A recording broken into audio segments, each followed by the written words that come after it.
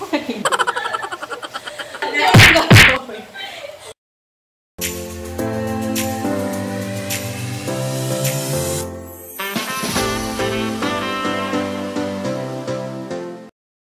So, bali, hi guys! Welcome to my channel and nandito nga tayo para gumawa ng makeup battle with Katy, gagawin mo, and then Chris, Chris Bora, okay. Yun yung gusto niyang gamitin pangalan. Bale, paano ba natin gagawin? So yung naisip kong ano natin, parang challenge natin today. Mag-half-half tayo. Since katatapos lang naman din, recently, uh, Miss Universe. So yung parang concept na tingin ko, half-half siya, syempre bata nga din. So, yung half natin is yung um, katayo na gray, and then sa left, I think it's left. Ano ba? Super success ka pero game. Ah, left. Left, si Pia Words back. Tapos yung magiging concept natin, yung color natin, is yung dresses nila. Blue and red. So, sino magiging blue at red? So, kukunin ko yung red. Pink Catriona. Ching, ching, ching, Okay, ching, ching, Pia. ching. So, bago tayo mag-start, si Cathy nga pala is kung namumukhaan niyo siya. Oo, siya yun. yung nagtitinda Bali yan yung pasmado ano. Then, si Cathy before is ano siya, nagko-cosplay. Then, hanggang ngayon ba? Ano? Or ano lang? So, nagdalo na si ate. Naglaylo na si ate girl sa pagko-cosplay. So, syempre, ang background naman ni Chris, siya yung nagme-makeup dati kay Cathy. Self-taught lang din siya. Tapos natuto na lang siya over, ano na, ano, aral-aral lang. Pero mas magaling siya sa akin. So, medyo... Pero wala po kaming formal. Ah, wala. Wala pa Ito yung bunga ng pag, ano lang, YouTube-YouTube lang. Tsaka, siguro kasi the fact na we're both artists. So, parang, Ah, gagawin natin yun, yung living canvas na. Pasmado mo ako. So, medyo kinakabahan ako dahil hindi man ako masyadong magaling dahil siya mas matagal na. Siya na nagme-makeup sa akin kapag may shoots, then siya yung papagad... Alas lahat! Yung kamay niya. Thanks, guys. So, yun, papakita namin yung bare face. Ay, di, before pala nito, i-review din namin yung mga ibang, ano, mga ibang products na mabibili sa Shopee. Ginagaling yun eh. Okay, it's not working. Okay, let's go. So, bali mag-start na tayo. Hindi ako makita. Ang gagamitin ko sa kanya is yung L'Oreal True Match Foundation. Sana bumagay sa skin shade niya kasi skin shade ko to. Ito ang challenge dito dahil maputi siya. Hindi na Nadasalan. Yung blender, ano lang, 88 sa Daiso. Paano mo nililinis? pigaw ng pigaw. Water lang. Oo. Tsaka sabon. Interviewer naman pala tayo sa background. Anong age ka nag-start mag-cosplay? Mga 8. Ibulong mo ba ate? Para ano na? Writing! Ganyan. Tapos si Chris na yung kasama mo lang mag-makeup. Oo. Parang eyeliner lang yata yung ginagawa Oo, namin eyeliner, doon, tapos foundation. Kasi di pa naman nagbubong yung mga makeup na niya. Oo. Ang natatandaan ko, mga bake, ay mga ano pa, mga na Yung mga foundation. cake- cake oh, cake foundation. foundation pa. Korean Di pa- winner. Ito yung lighting, ate girl. Ito. No. Ah, True Match Liquid Concealer din, L'Oreal. Oo. Bali, pag naglalagay ng concealer is parang maggagawa ka ng parang triangle na shape. Hindi siya yung parang igaganyan mo lang. Kailangan tra- pa- parang pa-triangle siya na ganyan. Lalagyan natin concealer din yung mga areas na gusto mong itago. Mga ganyan.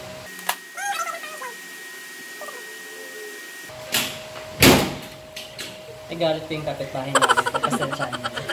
So, ano pinagkakabalaan mo ngayon, Kat? lang. Talaga. Uh, work, bahay. Wala. Bahay lang. Nakakadin ng ginto. Danny girl. Danny girl naman pala. So, yung pang... Ito yung gagamitin ko para sa kanya, yung Detail Mineral Loose Powder. Ang shade nito ay Natural.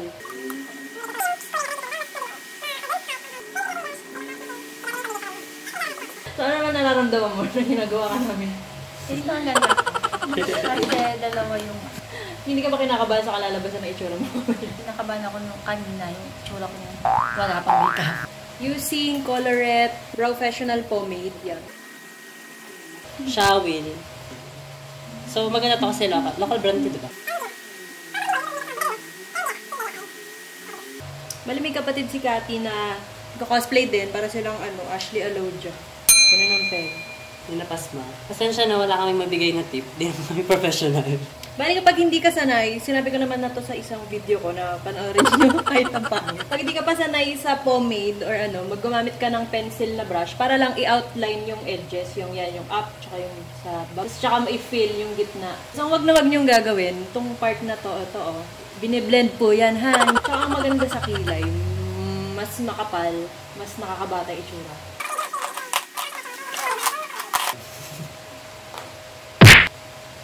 Medyo nakukuha kulangan pa ako. So sa akin, um, nakita na natin to kay Catriona.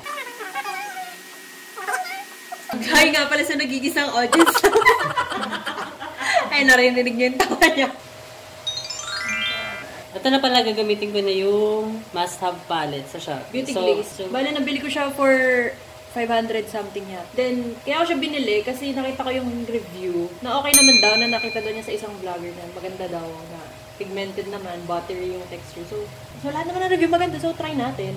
so ito yung itatry ko yung mga shades. This one, this one, this one. Tsaka, um, I guess, ito na rin. Ito yung sa akin.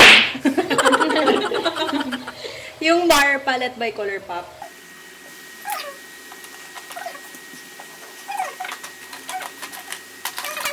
Hindi ko rin alarm. Ito na lang muna. Parang, ang technique naman sa eyeshadow is Technique talaga. technique. Oo, technique girl. Konti lang muna, tapos, tapos pwede mo na siya i-blend afterward. So, use cr- Chris na code para sa Ito yung ginamit ko ka, uh, kaninang pang Yung shade na to, yan.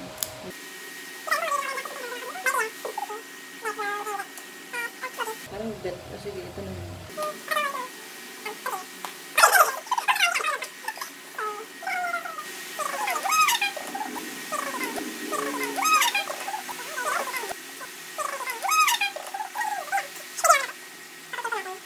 Ito talaga yung pinakamatagal eh. Pag natapos to, ganun na lang eh.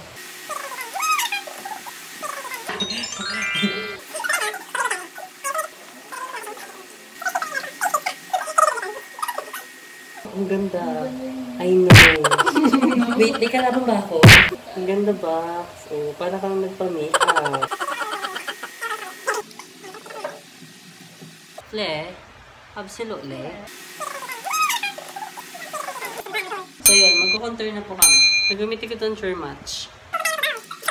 Gamitin ko tong Wet n Wild highlighting palette. So, yun, babawasan natin yung parang mga 2%. Kasi medyo yung kanto eh.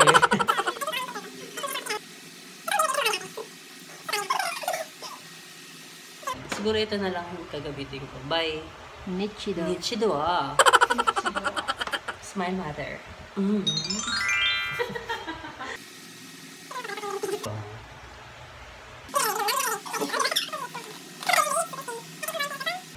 From Super So, bali ito yung gagamitin ko from Fashion 21.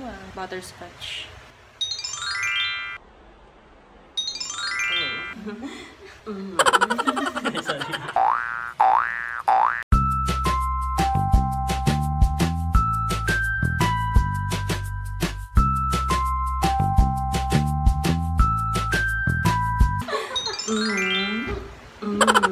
Ate mong girl. So, ito try ko yung nakita ko sa IG ng detail na yung eyeshadow ihahalo dito sa primer oil. Dati. Hi, girl. I love it.